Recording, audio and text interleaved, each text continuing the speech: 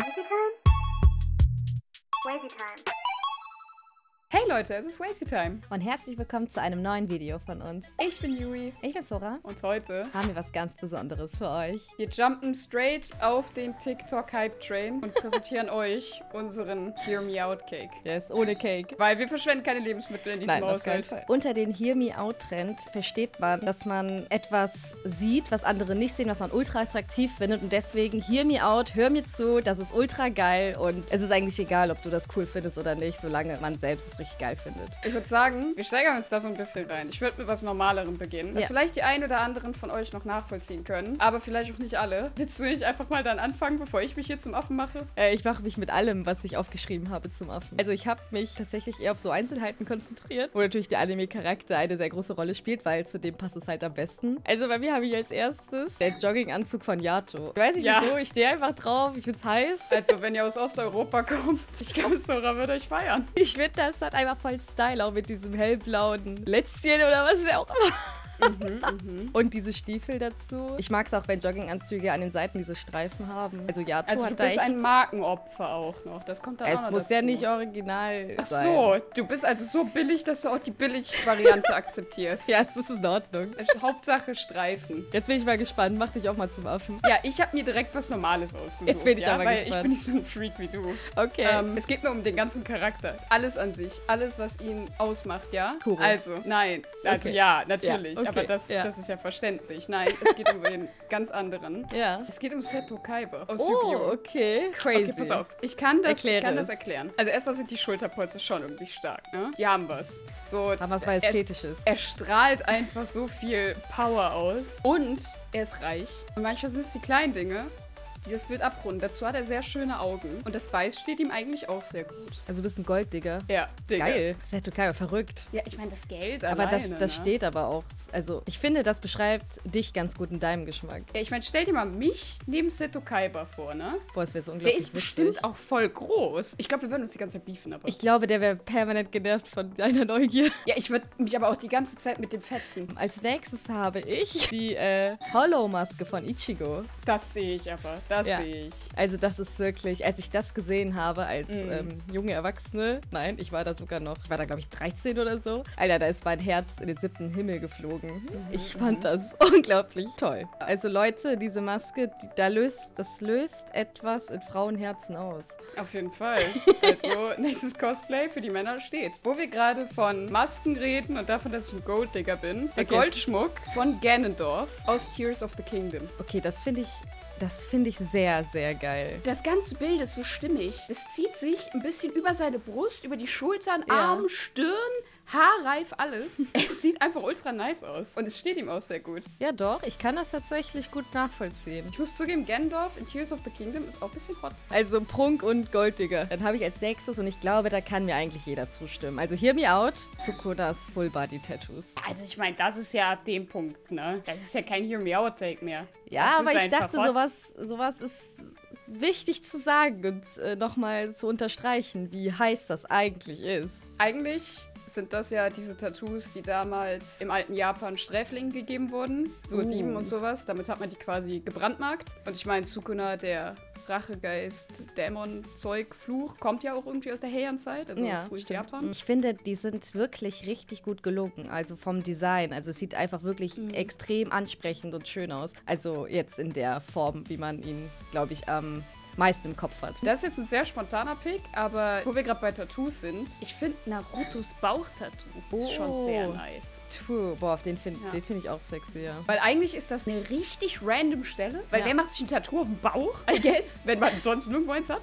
Ja. Gut, er hat jetzt auch nicht die Wahl, das da zu platzieren, aber davon mal ganz abgesehen. Auch dieses Kreis und dann geht das so ein bisschen weiter mit so, keine Ahnung, was Schriftzeichen sind, aber es sind auf jeden Fall irgendwelche Symbole, die richtig, richtig nice aussehen. Ja, dann würde ich direkt da anknüpfen. Sagst du jetzt der QB? Freak, Ja. Furry. Furry Freak. Der Charakter am Anfang, dieser richtig, wo man halt nicht weiß, ob der wirklich böse ist oder ob der jetzt wirklich gut ist. Man weiß es halt am Anfang nicht. Und er hatte schon eine krass böse, geile Aura. Und Ja, nee, doch, dieses ich. Zerstörerische, aber dann, dass er halt irgendwie doch ein Herz für Naruto hat und wie sich dann so entwickelt, ist schon. Also ich muss sagen, Kyubi ist charakterlich, weil äußerlich ist es natürlich ein Tier, wollen wir ja nichts vormachen, ne? Aber so seine Art und wie er spricht, der hat ja auch eine unglaublich geile Stimme, ist schon extrem heiß.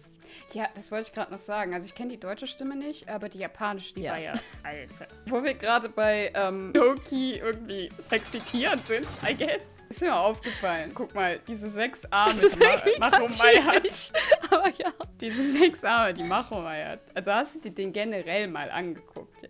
Ich Ja, ist ein. Muskelprotz.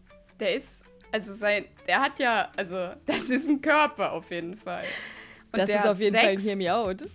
Sechs Hände. Aber Vielleicht kann er ja, pass auf, vielleicht kann er ja die Maske von Ichigo anziehen. Und dann, also wer würde da Nein sagen? Ich frage mich, was er für eine Hautstruktur hat. Ich kann mir vorstellen, dass das so echsenartig ist. Hast du mal eine Schlange angefasst? Nee, noch nie. Willst du mal meine Schlange anfassen? Ja, okay, fühlen sich auf jeden Fall sehr interessant an und gar nicht so glitschig und eklig. Also, würde mich ab dem Punkt auch nicht aufhalten. Ganz komisches Video ist das schon wieder. Was ist denn Okay. dein nächster Pick? Okay, mein nächster Pick ist sehr spezifisch. Von Fui. Aber Rin in dieser Polizeiuniform beim Ending. Also hear me out. Ich weiß, es ist cringe und der tanzt auch weird. Allein, dass er dieses, diese Uniform trägt und er generell mein Lieblingscharakter von Fui ist, weil ich den ultra heiß finde. Die Kombination hat mein Herz zum Schmelzen gebracht. Also, Annie in ihrer Titanform. Kann ich aber verstehen. Danke, danke, weil ich finde, Körper müssen ja nicht immer als Lustobjekt betrachtet werden. Die können Das ja auch stimmt. einfach sehr ästhetisch aussehen.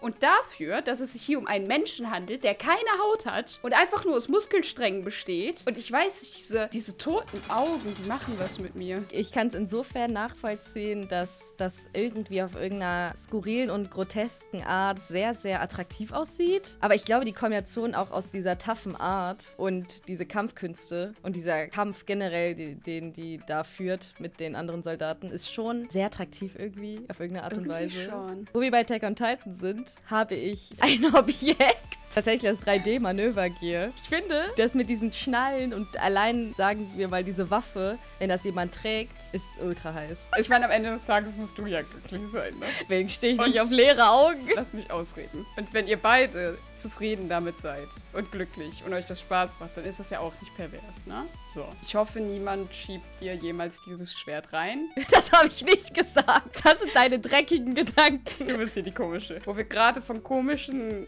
Gegenständen reden. Äh, Meins ist kein Gegenstand, aber ein Klamottenstil. Und Okay. zwar der von Yami Yugi. Und zwar besonders nicht, nicht wenn ihn der kleine Yugi trägt. Ich rede schon von Yami Yugi. Mit dieser geilen Gürtelschnalle um den Hals. Alter, das ist wirklich ein Gürtel. Es ist so Dieses- breit. Voll.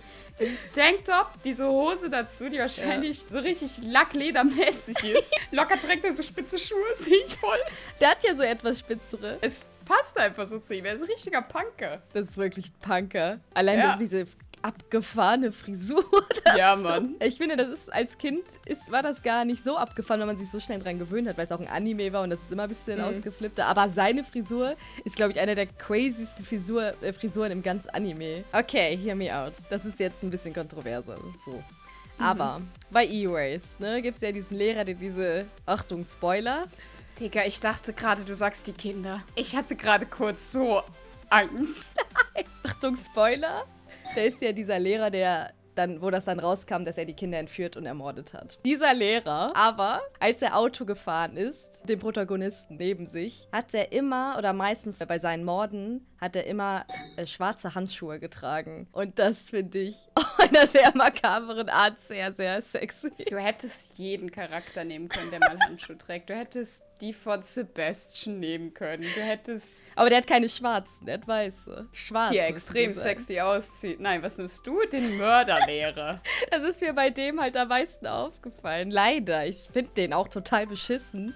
Aber diese eine Szene, wo der mit diesen Handschuhen Auto gefahren ist, fand ich Weißt schon du, wer gut. schwarze Handschuhe trägt und dabei extrem sexy aussieht? Du? Lelu, also ja auch, aber auch Lelouch wie Britannia. War das jetzt ein äh, Übergang? Ich wünschte. Weißt du, wen ich irgendwie low-key hot finde? Kurogiri. Das ist der Schattentyp aus My Hero Academia. Und zwar gerade in diesem Gesamtpaket. Pass auf, erstmal. Der Kragen, als wäre er straight up Samurai, ja? Geiler Anzug. Also man sieht, da, da ist auch wieder ein gestandener Mann hinter. Und er hat extrem coole Kräfte. Und seine Stimme.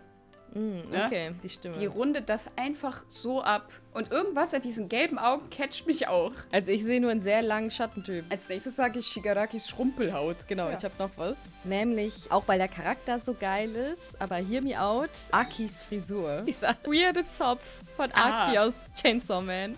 Ja. Ich weiß nicht wieso, aber irgendwie passt das so gut zu dem. Obwohl er so ein cooler Typ ist, aber dieser lächerliche, komische, straighte Zopf finde ich ultra lustig. Das macht den irgendwie voll aus. Ich finde das irgendwie heiß, dass er das so mit so einem Selbstbewusstsein trägt. Dass es einfach sein Style ist, obwohl er so ein cooler Typ ist. Du, du musst es ja jetzt zu Chainsaw Man, ne? Ja, Wir ja. bleiben jetzt mal bei My Hero Academia. Weißt du nicht warum? Okay, hear me out, ja? Darbys Narben. Ich weiß, dass das wahrscheinlich in echt nicht ganz so ästhetisch aussieht wie im Anime. Vor allem so festgetackert im Gesicht auch.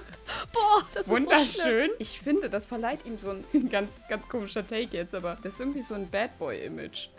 Wenn er so absolut verwundet ist. Ja, und dieser Gedanke, dass es so Stück für Stück mehr verbrennt. Geiler Typ. Voll dein einfach. Typ. Ich weiß nicht, ob ihr den Anime alle gesehen habt, aber von Naono Exorcist gibt es ja den Rin, das ist der Hauptcharakter. Und hier Sein mir out. Schwanz. Nee, nicht ganz. Oh, also ich auch nicht um den gedacht, Schwanz. Ich kann das erklären. Du bist so eine Dreckige.